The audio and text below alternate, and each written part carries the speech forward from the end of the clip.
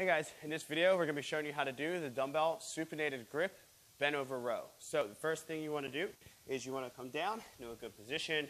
We want to drive our hips back and we're going to rotate these kettlebells to where it's palm out. So that's going to be our supinated grip. So we want to be nice and flat at the back and we're going to pull that weight up and we're going to let it out nice and slow under control.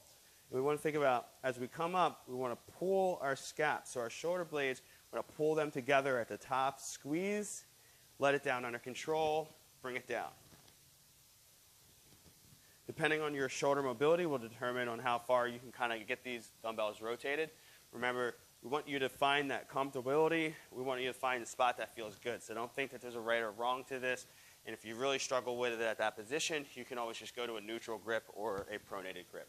But supinated grip is just underhand, pulling up, elbows tall, 90 degrees, bring it down under control. Just like that. And that's how we do the dumbbell bent over supinated grip row.